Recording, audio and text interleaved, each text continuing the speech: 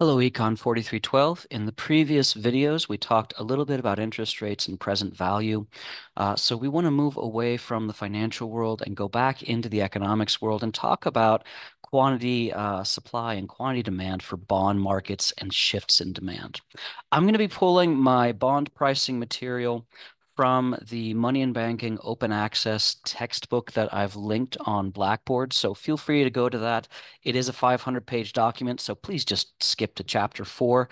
Uh, I'm looking around page 94 of, of that book. It has a nice table, a nice setup to explain things. So if you don't catch everything I, I go through in this uh, video, then feel free to go back to this textbook and take a look. They do a great job of it. So what I want to focus on is mainly interest rates behavior, specifically as it relates to something called the term structure. Now, this is going to be, we're going to get into the weeds a bit in terms of the economics. So in order to motivate you on this, what I want you guys to think about is what we're building to is the bond market is a great place to predict inflation, disinflation, and recession. So we are going to build up a measure that is going to give us a check engine light for the economy. When this measure begins to go negative, then you know that maybe um, maybe something's going to happen, maybe not, but in terms of the engine of the economy, the warning light just went off. We're not sure what's going on, but we know something is going on. The other metaphor I use for this, uh, since we live out in the Texas panhandle anyway, uh, is when you know there's been a dry summer or a dry winter. So there is a danger of those grass fires, right? So there are the conditions for a financial crisis that may or may not happen, depending on if, I don't know, someone flicks a cigarette out the driver's side window uh, or a campfire gets out of control. But the yield spread indicator is going to give us a way to see if the tinder in the economy is dry enough to catch fire. So we're going to talk about bond markets. So let me find my uh, proper, there we go, right from the beginning. We're going to lecture now on interest rate behavior, term structure, and risk. So remember with a bond market, um, these bonds provide store of value and speculation. So they're not really money, but they provide substitute and complementary services to that store of value and specula speculative service that money provides. Remember, money has four services, medium of exchange, unit of account, store of value. Hold on one second. Yes, that red dot is going. I did hit record. And these assets provide a service. And that service can be modeled in a perfectly competitive market, a monopolistic market, a monopolistically competitive market, a monopsonistic market. We're going to look at the perfectly competitive view of the bond market because that's the one you're all used to from uh, your microeconomics courses, right? So bonds are priced like money, like cars, like uh, hamburgers and lobster and uh, university tuition based on supply and demand. An asset demand is determined by a buyer's willingness and ability to purchase a bond, which means that we can shift that demand curve based on their wealth, expected returns, risk, and liquidity. Now, on the supply side, that is if the lender is more willing and able to provide this bond. So when is the U.S. government more willing and able to issue a bond? When is uh, Apple more willing and able to issue uh, commercial paper? Uh, when is uh, the, the French government more likely to issue a bond? What would be the factors that determine whether that supply or demand curve shifts out? And of course, in any perfectly competitive economic equilibrium, we have the magical X, right? Supply and demand meet at the point of equilibrium. Quantity of bonds demanded equals quantity of bonds supplied, and the market is going to clear. So we're creating our model that's going to describe the price pressure of the bond market and that service they provide in store of value and speculation. So let's talk about the determinants that shift bond demand. Now, from the demand side, generally what shifts uh, bond demand, and then of course prices, is going to be relative wealth, expected interest rates in the future, expected inflation in the future, the relative risk of the within the economy, the relative liquidity in the economy, and that will be our demand shift. Our supply shift will be based on the expectation of inflation in the future, profitability within the economy, the ability of uh, corporations, companies, firms to gain profit from any issuance, and of course, then government deficit or surplus. Please excuse me. So, if we have an increase in relative wealth throughout the economy, right? If we have a boom time, then our bond demand curve is going to shift out or shift right, right? That's an increase in demand. If we are expecting higher interest rates in the future, then bond demand is going to shift in or decrease. If we are expecting higher inflation in the future, then bond demand is going to shift in or decrease. Now, the intuition behind that expectation of inflation, and that's a key one. Notice I've got this highlighted in red. If we see higher inflation later on in the economy, we are going to demand those bonds that lock us into low rates of return less. So imagine this uh, bonds interest rates are prevailing at, say, 4%. But we expect 8% inflation in the future. You don't want to lock in for 10, 30 years, uh, for 10 or 30 years, a 4% return when you know that it's going to be eaten by inflation, right?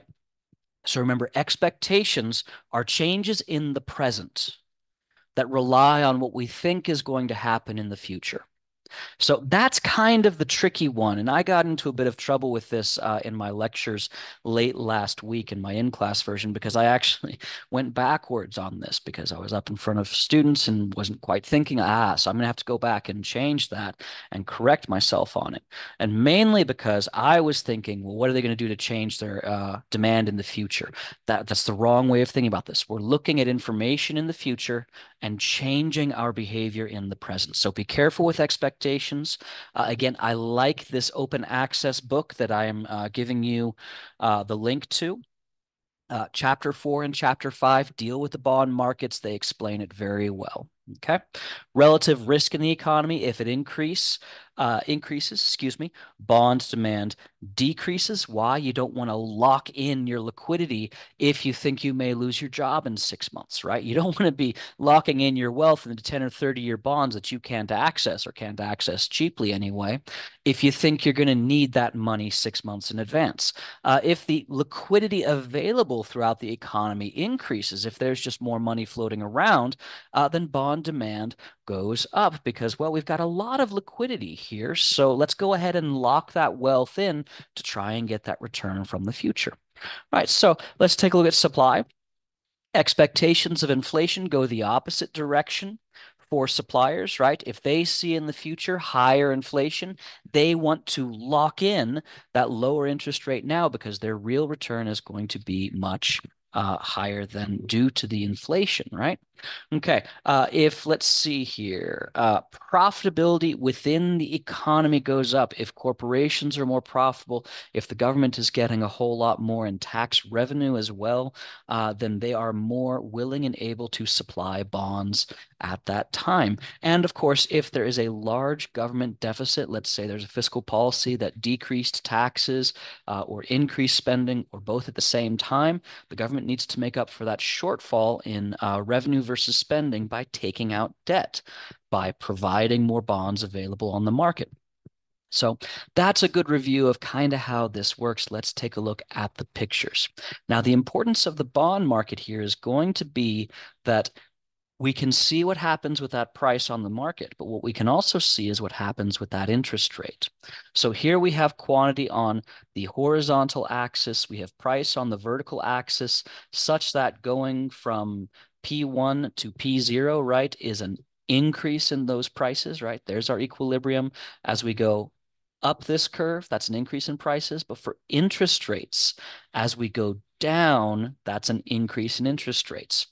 Price of the bond and the interest rate are going to move in opposite directions. So we want to keep that in mind because then if we have, say, a change in what was my example here, uh, so this is going to be uh, the Build Back Better program, right? After uh, 2020, 2021, somewhere around there, right? the most recent fiscal policy that I can think of. The government is going to need to uh, spend more than it's receiving in taxes. And what's it going to what's that going to do? It's going to have an increase in the supply side, right? So that supply curve is shifting right or increasing, and that means the price of bonds is going down, but the interest rate is increasing.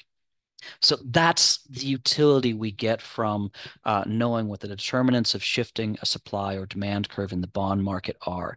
Now, let's say then, uh, okay, so there's our interest rates, right? Now, let's say that the Federal Reserve is signaling to the markets. The Federal Reserve, and now in this case, we're doing this expectation of inflation's issue, right? Although without a supply curve shift. I think I stuck to just a demand curve shift on this one. Um, we already have the supply curve shift of the government pushing out. If we have these higher inflation expectations, then that's going to affect the demand curve, decreasing the price of bonds. And what about the interest rates? Increasing the interest rates. Now, of course, this also depends on the Fed being credibly believed. Maybe they're signaling it and people's expectations don't shift. So you need to keep in mind this can get really messy really fast. So you want to try and clarify your thought process. Take things one step at a time. That's what's so wonderful about microeconomics that you can do uh, and basically have a have a better time determining price and interest rates than of course you would in a macroeconomic model. So for the effect on bond rates for the Build Back Better program, supply of bonds increases, higher supply of that store of value and speculation service that bonds provide, lowers bond prices, raises bond rates. Now, then, the Fed begins to signal that it's concerned about inflation. People's expectations on inflation go with it. They credibly believe what the Fed is reporting. There will be future inflation. Demand for bonds decreases. There's a higher, uh, excuse me, lower, lower demand on the store of value and speculation on that, and lowering bond prices uh, and rising bond rates again. So uh, that's how this works. We can, of course, go back to say we can talk about what happened during COVID, what happened during the Great Recession, what happened during the American Recovery and Reinvestment Act. How does that affect our bond prices? And here, what we have is just several of these bond rates. I don't like to put multiple series on a graph. It tends to look ugly, but eh, since this provides some information, I'm going to go ahead and do this. What we have is the five-year bond, the seven-year bond, the 10-year bond, the 20-year bond, and the 30-year bond. And here we have, in this case, uh, 2019, 2020, the Fed is signaling that it thinks there's going to be uh, some inflationary pressures. Um, the bond market starts to react to that. We also um, can talk about some fiscal policies going on in this case. But then here we have post COVID, right? Where we suddenly have the bond rates increasing again. So, what's going on there and what effects are happening to increase those bond rates along the menu of that maturity available? So, let's take a look. And what we also need to remember when we talk about store of value and speculation, there is a liquidity preference. So according to liquidity preference, the determination of interests in the bond market influences the determination of interest in the money market. So if I'm given a choice between $500 in bonds it, at zero interest rate and 500 in cash at zero interest rate, I will choose the cash because I prefer liquidity, right? Money is liquid, can be used in various situations. I can buy groceries with it. I can't buy groceries with a 10 year bond or a 30 year bond. So agents are going to have this two stage budgeting approach where they determine how much they want to put into store of value and speculation of the bond market versus how much they want in liquidity of the money market. But this is constrained by wealth because you cannot have more money in savings than your wealth allows. So keep this in mind as bond rates begin to go towards zero, there could be some switching into money markets because they're beginning to look like the returns on money markets without the advantage of that liquidity. This goes back to our opportunity cost of holding money, right? This goes back to that benchmark asset minus the interest of the asset that we're holding, normalized to the overall return. That gives us a price of the store of value service. Okay. So remember, the interest rate is not the price over time, the interest rate is return. The price over time is what you are giving up in terms of that interest return in order to hold on to some kind of liquidity. So by theory the quantity demand of money, it's inversely related to interest rates. So as users give up more and more holdings there, there's both a substitution and a complementarity effect. Remember what I mean by substitutes and complements. In some cases, money is a substitute for bonds. You think of store of value, right? Money market funds can earn an interest rate uh, that maybe is less than a bond, but it can still get that uh, store of value service. Or it could be that money is a complement, that medium of exchange and store of value services go together, so you hold a certain amount of cash and a certain amount of bonds. This is reflected in the price, and the price needs to be correctly measured as that spread of interest rate. Okay. So again, uh, user cost, opportunity cost, good things to know. Now let's talk about what shifts money markets because we want to think about them uh, together, separate, but you know, they move in different ways and we need to figure that out. There is an income effect, right? Income goes up, demand for money goes up because if you're wealthier, you want to buy more stuff. To buy more stuff, you have to hold more money. This doesn't change money supply. There's a relative price effect. If it becomes uh, relatively more expensive to hold bonds, then money demand is going to go up, right? That's that's that kind of substitutes issue, right? So that money demand goes up if the relative price of holding something other than money begins to increase, right? Okay. Did I say that correctly? Mm. Yes, yes. If it becomes more expensive to hold other stuff, then you want to hold uh, money. Federal Reserve stimulus does not affect money demand, but it does affect the money supply. Okay, so those are the three things that will shift the money supply or demand curve. We will generally follow with uh, the Federal Reserve orthodoxy of drawing the money supply curve as perfectly inelastic and money demand as inelastic. We'll go ahead and put our interest rate here instead of a price. That's fine because we tried, the Federal Reserve is going to try and target these short-term interest rates. If I really wanted a price here, I should be doing a spread, but okay, that's what we'll do. And that's also in the open access textbook, so we'll go with it. So let's suppose um, tech boom, let's suppose people feel wealthier, then that means money demand goes out, interest rates start to rise, right? Because the Fed is not going to provide uh, any more increases in that money growth. They haven't made a policy yet to respond.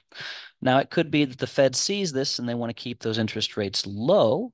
So the Fed may decide that they will expand the money supply, right? Lower that interest rate. And that's how they would do it. They increase the growth to a faster uh, rate of money growth, and that interest rate then goes down. All right, so a monetary contraction, on the other hand, would have rising interest rates as the Fed contracts the money supply. Uh, we could also have uh, money demand fall as well. So in terms of money markets, what, what are these effects going to be? To increase interest rates, the Fed wants to slow down the rate of money growth. To decrease interest rates, they'll speed up the rate of money growth. Higher money demand will lead to higher interest. Lower money demand will lead to lower interest. And that is where I am going to stop this video for today. And we will get into the rest of these lectures and the yield spread in the next video when we start relating more and more these bond markets and money markets. Where's stop recording?